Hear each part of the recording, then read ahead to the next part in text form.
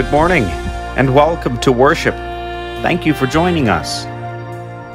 This morning we celebrate the sixth Sunday of Easter. Jesus does not abandon his followers. Through the Holy Spirit, Jesus comes to abide with his disciples of every generation. As Pentecost draws near, we are reminded that the risen Christ dwells in us as the Spirit of truth. We receive this Spirit in baptism and pray that in our gathering around the Lord's table, the Spirit will transform us to be the body of the risen Christ in the world.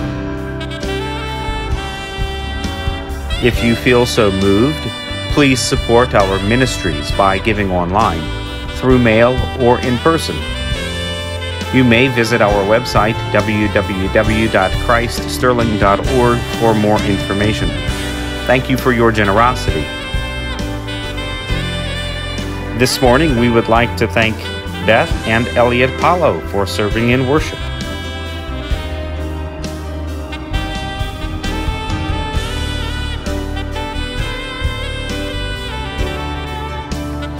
Greetings from Christ Lutheran Church, Sterling Heights, Michigan.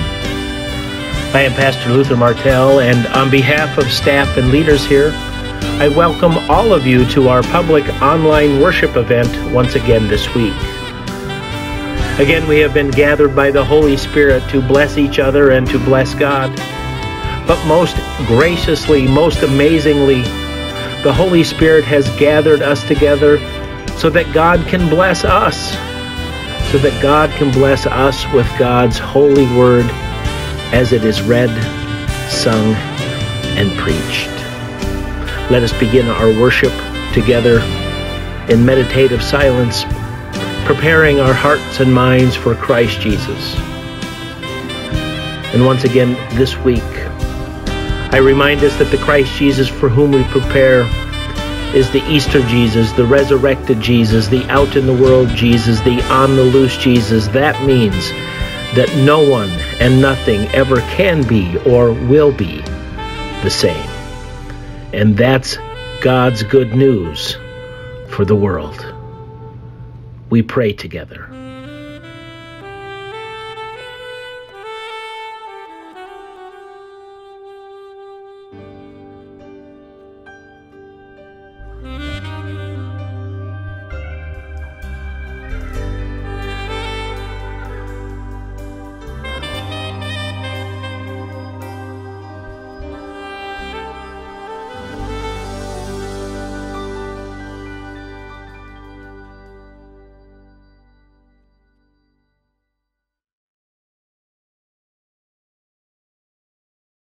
Hallelujah. Christ is risen.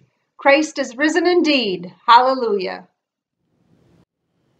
Our worship begins with a liturgy for remembering God's work in the sacrament of holy baptism. Water by itself is only water.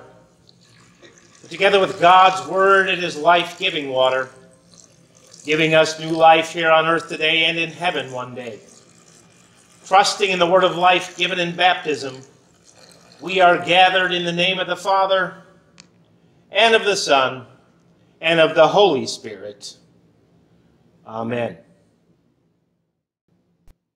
The peace of the Lord be with you always. And also with you. We pray together the prayer of the day. Almighty and ever living God, you hold together all things in heaven and on earth.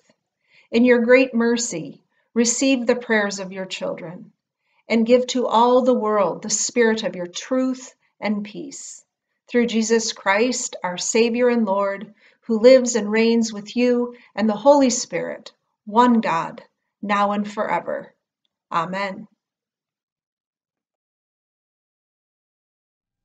Chapter 14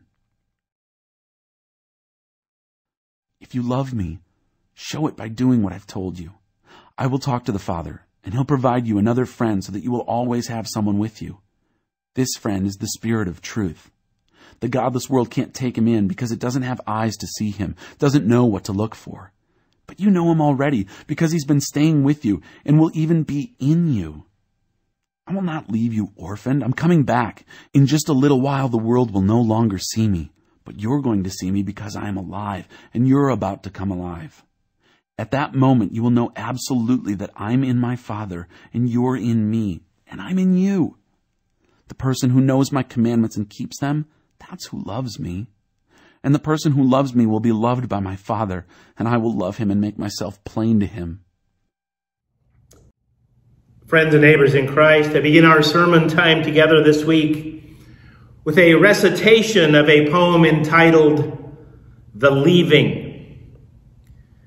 While many interpretations are available to the reader, and in our case, in this situation, the listener, I offer an interpretation influenced by today's gospel, which comes to us from the writer of John on the sixth Sunday of Easter. The poem, The Leaving, is about an adult woman reflecting on the meaning and the purpose of life. Lost in the dark determination of accomplishing tasks, a young girl is interrupted by the goodness of a new day released from the confines of her own heart and introduced to a surprising new reality of another world she didn't previously know even existed. The Leaving by Brigit Pegeen Kelly.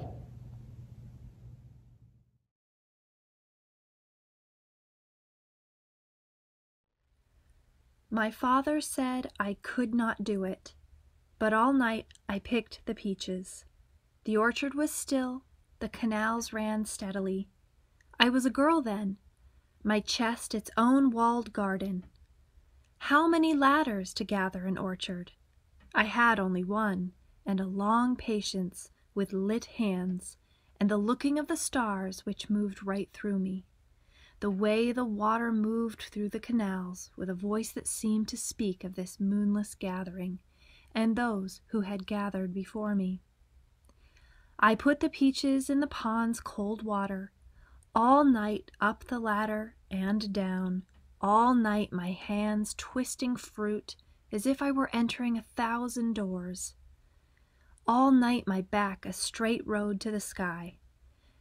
And then out of its own goodness, out of the far fields of the stars, the morning came, and inside me was the stillness a bell possesses just after it has been rung, before the metal begins to long again for the clapper's stroke. The light came over the orchard. The canals were silver, and then were not. And the pond was, I could see as I laid the last peach in the water, full of fish and eyes. Friends and neighbors in Christ, please notice with me that today's gospel narrative is part of what is known in John's gospel as Jesus' farewell discourse. Jesus is in the process of leaving the earth, first through his death and ultimately through his ascension. And so it is for us in John's gospel this week that Jesus, because he is leaving, is going to say goodbye to his disciples, leaving them with words of expectation and words of wisdom. But even more importantly, please also notice with me that the topic of Jesus' farewell discourse is not human behavior while Jesus is absent. Rather, the topic of Jesus' farewell discourse is what God promises to do in Jesus' absence until he comes again to judge the world in righteousness. And God's promise for us today is this. After Jesus leaves the earth, again, first through his death and ultimately through his ascension, after Jesus leaves the earth, God will provide another divine advocate who will inspire God's people to accomplish big things out in the world. God's pro promise has three parts. The first part is this Jesus in his leaving, Jesus in his departure, Jesus in his absence does not leave you alone on this earth to toil in ignominy. Secondly, God's Holy Spirit lives in, with, and under each and every one of you by the gift of faith. And thirdly, God's Holy Spirit, this indwelling Holy Spirit, calls and equips and sends each and every one of you out into the world to be in relationship with your biblical neighbor so that God can accomplish big things for them and on their behalf by the power of the gospel. Friends and neighbors in Christ, with Jesus' Holy Spirit promise in mind, with Jesus' Holy Spirit promise indwelling your heart and your very being, answer this. What is it that God is inspiring you to do with your life right now? What big God thing are you being called to accomplish in God's kingdom today? What big thing is God intending to accomplish through you out in the world? What gospel thing is your life consumed by and overwhelmed by and wrapped up in today. There's a story of a clown whose big floppy hat fell off of his head when he bowed in response to the crowd appreciating his comedy with cheers and clapping. It just so happened that just as the clown was about to pick up his hat off the ground, a circus elephant came by and sat on the clown's hat.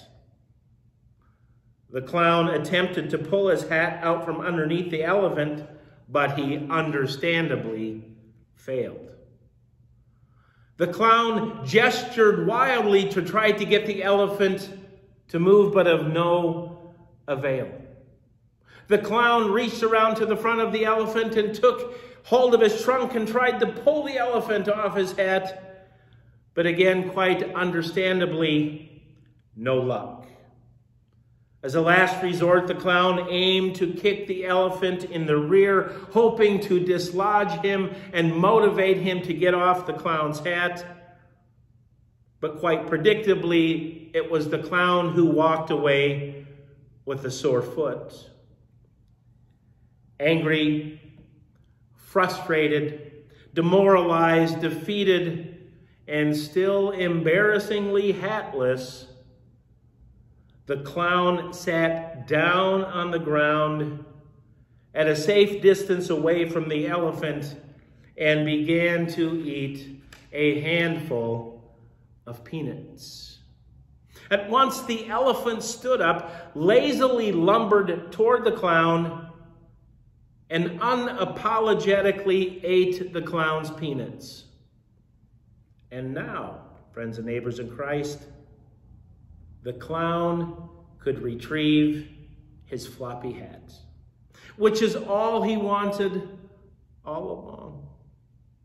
Friends and neighbors in Christ, in God's eternal kingdom, already present on earth today, big things don't happen by forcing the world to participate or to receive or to cooperate.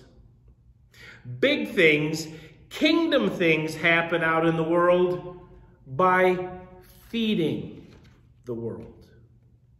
At first read, this week's gospel passage from the writer of John might seem somewhat suspect to a Lutheran theological ear for its conditional language. If you love Jesus, you will obey his commandments. And if you obey Jesus' commandments, you will get another advocate and you will be loved by the Father. Before continuing, let's get our theological bearings. Let's get our theological grammar straight. Firstly, know this every human being's relationship with God is not dependent on people's thoughts and behaviors toward God. Your relationship with God is not dependent on you. Every human being's relationship with God is instead dependent on God's thoughts and behaviors toward you, toward all of humanity.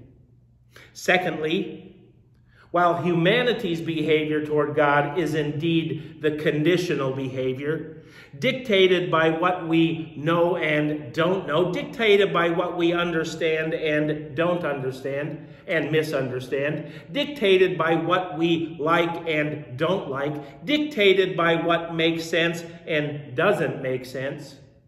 God's behavior toward and with you and with all of humanity is not only unconditional, God's behavior toward and with and for humanity is wholly perfect and true. Friends and neighbors in Christ, God's gospel for us, God's gospel for you this morning proclaims that there is no bigger privilege, there is no bigger duty, there is no greater responsibility, there is no more, no fantastic joy greater in the world today than to obey Jesus' commandments. And all of these commandments, each and every one of Jesus' commandments, are aimed at loving your biblical neighbor. The fifth chapter of John's first letter states, For the love of God is this, that we obey his commandments, and his commandments are not burdensome. For whatever is born of God conquers the world, and this is the victory that conquers the world our faith. Who is it that conquers the world but the one who believes that Jesus Christ is the Son of God? Friends and neighbors in Christ, you are not called to conform and move the world to the will of God. Instead, you are called to feed the world to feed the world with word and by example of God's grace and God's mercy and God's unconditional love and God's compassion and God's peace and God's hope and God's justice intended for all people. And in doing so, the world will be and is being moved by God's grace that comes to us and the death and the resurrection of Jesus by the power and the animation of the Holy Spirit. Friends and neighbors in Christ, as you go on now today and this week, in fact, the rest of your life, each and every day of the rest of your life, as you go about your ordinary lives of daily obedience to God and God's commandments, reinterpreted, reinterpreted by Jesus out in the broken world, live in the confidence of freedom that the resurrected Jesus, by the power of the Holy Spirit, is redeeming, is reconciling, and recreating you and all things through you because God loves you and God loves all people. Amen. This morning, our song of the day is I Love You, Lord, and we'll sing it through twice together.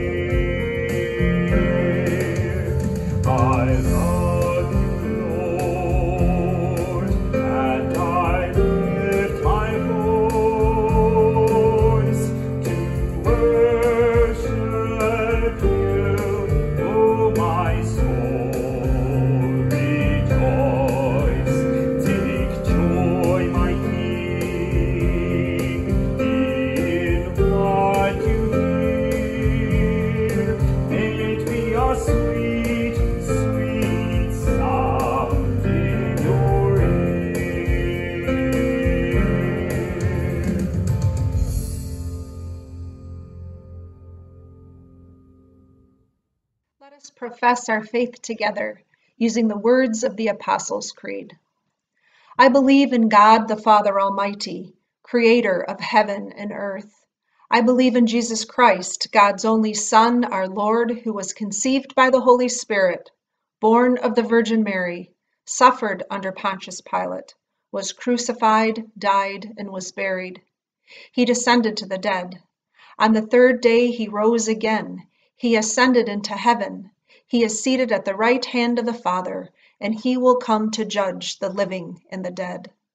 I believe in the Holy Spirit, the Holy Catholic Church, the communion of saints, the forgiveness of sins, the resurrection of the body, and the life everlasting. Amen.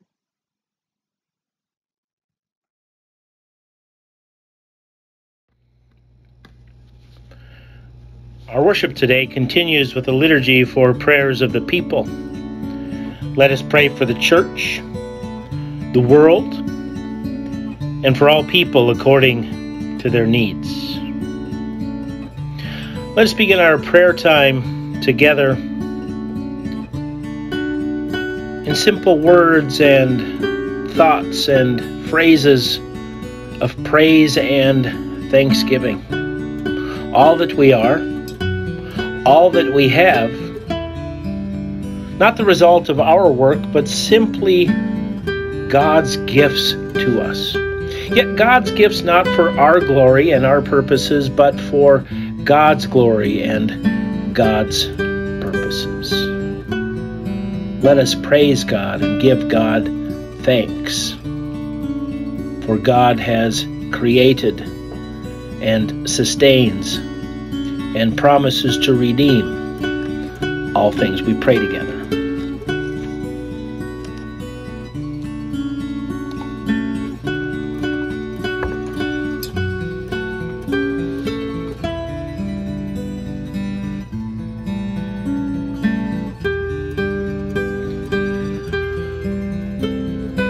Let us continue our prayer time by asking for our daily bread. All of those things that make us the dignified human beings created in God's image that God intended. Enough food to drink, warm, safe, secure shelter, good health,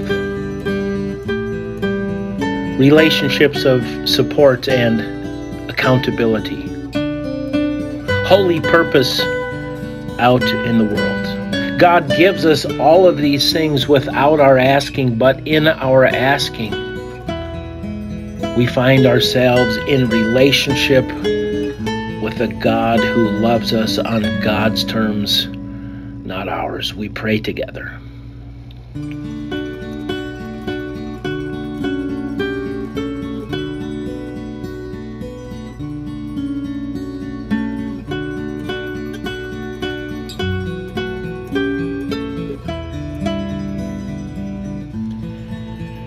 Continue our prayer time together with petitions, humbly asking for forgiveness and absolution. We know by the gift of faith that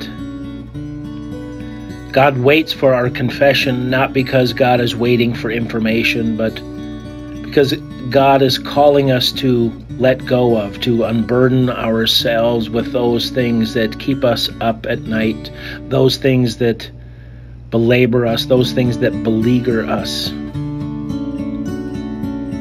God desires that we live freely, that we live with clear conscience. And so let us confess our sins, those things that we have done poorly or wrongly, those things that we have failed to do, and let us know that forgiveness that we might be lightened. We pray together.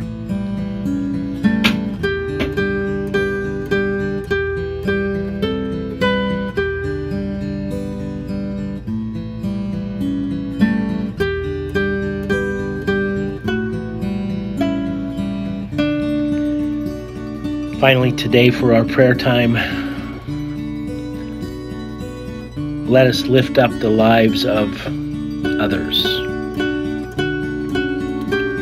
Each and every one of us participating in this virtual prayer time know at least one person out in the world who would benefit from God's good news, God's grace, God's unconditional love, God's promise that one day the entire world will be made new and put back in right relationship. There is nothing that can separate us from the love of God that is Christ Jesus. We all know someone who needs to hear those words and perhaps even more importantly, experience them. Let us pray even more boldly then that somehow we figure into God's plan, God's imagination of being emissaries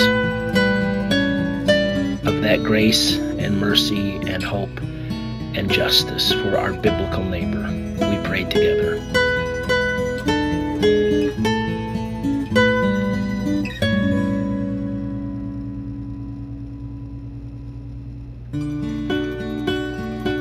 Good and gracious Heavenly Father, you have heard the prayers and the petitions of your children. Receive them in grace and mercy. Act on them in hope and justice out in the world according to your good, holy, and perfect wisdom. We ask all these things, whatever else you see that we need. In Jesus' name we pray. Amen. Let us pray together the prayer that our Lord and Savior taught us. Our Father in heaven, hallowed be your name. Your kingdom come, your will be done, on earth as in heaven. Give us today our daily bread. Forgive us our sins, as we forgive those who sin against us. Save us from the time of trial, and deliver us from evil. For the kingdom, the power, and the glory are yours, now and forever. Amen. This morning, our ascending song is Christ is Alive, Let Christians Sing, number 389 from Evangelical Lutheran Worship, and together we will sing verses 1 and 4.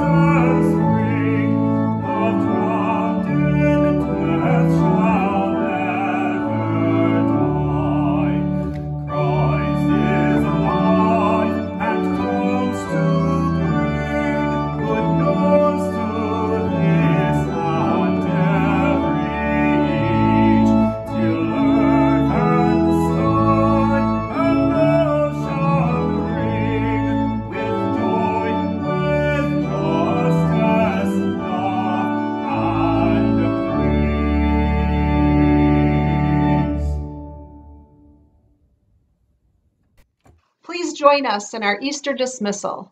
Alleluia, Christ is risen. Christ is risen indeed. Alleluia. You are the body of Christ, raised up for the world.